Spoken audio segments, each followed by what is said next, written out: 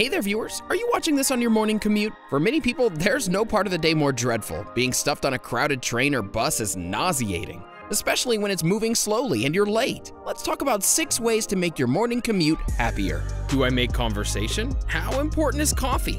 Wait, I need to keep a diary? We're talking all that and more. Number one, writing a journal. Writing your thoughts down is one of the best ways to stay sane. If you're stuck on a bus with a long way to go, writing in your journal can save you. Is there an important work assignment due later in the day? Studies show that journaling can actually reduce stress by helping you get rid of negative thoughts. It's even shown to be useful to crumble your paper up in a ball and throw it away after you're writing. In a way, this symbolizes clearing your mind. Have you ever heard of the amygdala? This is the part of the brain which controls intensity of your emotions. Brain scans have indicated that writing in a journal will reduce activity in the amygdala. This is why you feel so much better afterwards. By journaling, I don't mean you need to carry a giant book everywhere you go. It's 2020. You can jot your morning thoughts into the notes on your phone if you'd like. This, of course, applies best to that exhausting commute you endure on the bus or subway. Sometimes it's best to gather your thoughts while staring out of the window. Maybe even observe the things you see on board. What are the other passengers doing? What do they like? What are their thoughts at this very moment? It's your journal. Whatever you write is your little secret. Number two, listen to music.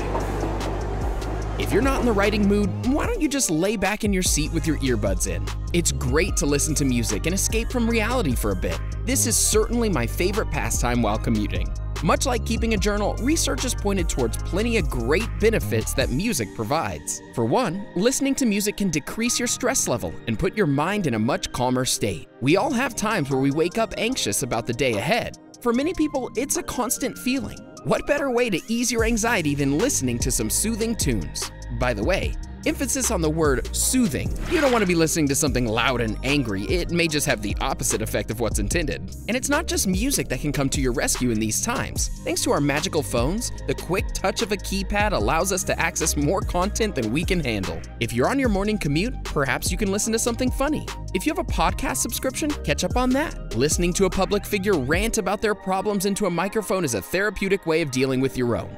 By the way, this also applies to those driving to work. Your blind hatred for those holding up traffic might dissipate with the sound of a good beat.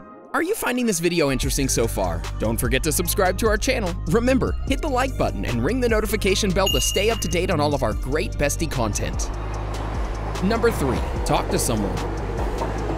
This pick's not for everyone. Only certain people are the talkative type, and it takes a certain personality to strike up a conversation with a random stranger. The uninviting setting of a crowded bus doesn't exactly scream meet new people. I'm not saying to spill your grievances to the person sitting next to you. How about saying something along the lines of, nice weather we're having, or if it's gross outside, maybe even say rotten day out there. Or how about even hello? Nerve wracking, isn't it? A kind greeting is enough to catch someone off guard these days. Whatever your opener is, this is a great method of breaking out of your shell. We often spend our days keeping to ourselves, too afraid to make a connection. When you start your morning too shy to speak to people, it usually lays the groundwork for a boring and lonely day ahead. Give it a go and talk to someone. Number 4. Change your route. This is a way to really switch up your commute. Taking the same route to work day in and day out is exhausting. It makes you hate traveling to work. Staring out the window seeing the same boring scenery is enough to have you dozing off. It's less of a way to keep yourself busy and more of a way to miss your stop. Here's a personal example. To get to work in the morning, I used to take an hour-long bus ride. This traveled uptown on a single road. After a while, a new construction job added an extra half hour to my commute. Since the road was reduced to one lane, my ride to work became unbearably slow. The way home was even worse, since all I wanted to do was fall asleep. You know how uncomfortable it is to shut your eyes on a bus. I'd always be worried that my head would fall on someone's shoulder. Soon after, I realized that a change was in order. I decided that I would find a new route to work and take the subway instead. While it certainly wasn't scenic, it allowed me to expand my horizons. I could label myself as a subway commuter, city life at its finest. Now, I'm aware that most of you don't have rapid transit in your towns. If this is the case, try changing the bus route. Not only will you find yourself in a different setting, you may also get to work quicker. Before we continue, do you ever get curious about the human body?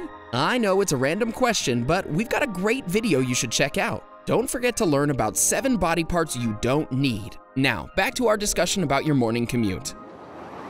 Number 5. Meditate. Now, I'm not talking about sitting in the middle of a train aisle and blocking people's way. That mysterious, funky odor has passengers aggravated enough. If listening to music and writing in a journal is out of the question, try to sit back in your seat and meditate. There is a misconception about meditation. You don't have to sit on the floor with your legs crossed and hum for an hour. Meditation is the act of gaining mental clarity by focusing on a particular object, thought, or activity.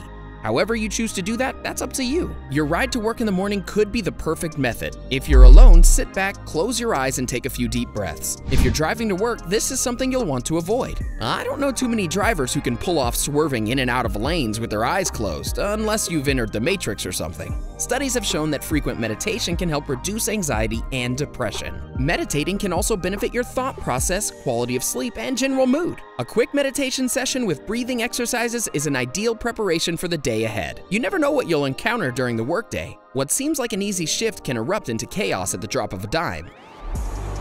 Number 6. Get coffee. Do you like hot beverages in the morning? I'm talking about something that gives your engine that proper jump. One of the things I look forward to before a workday is stopping by my favorite coffee shop and grabbing a cup. This normally happens after I hop off the train. There's something that also feels so rewarding about it. I didn't really even have to do anything. While it's smart to keep tabs on the amount of coffee you're drinking, limiting your intake to one cup shouldn't pose a huge problem. When you're feeling tired, some caffeine will supply you with that much needed energy boost. Coffee also carries a ton of other awesome benefits. If your job requires you to be moving around constantly, it allows you to keep aware and enhance your physical performance. On the health side, a moderate amount of coffee holds no shortage of benefits. It holds several important nutrients. Take vitamin B, for example. Who knew it could also burn fat and lower your risk of type 2 diabetes? If you're feeling generous on any particular day, feel free to grab coworkers' coffee as well. It might be a good lead in to that morning conversation. Do you enjoy your morning commute? Would you consider any of these tips after watching this video? Let us know in the comments below. We'd love to hear from you. Enjoyed this video? Hit like, share, and subscribe to Bestie. Wait! What kind of bestie would we be if we didn't tell you about our other awesome videos?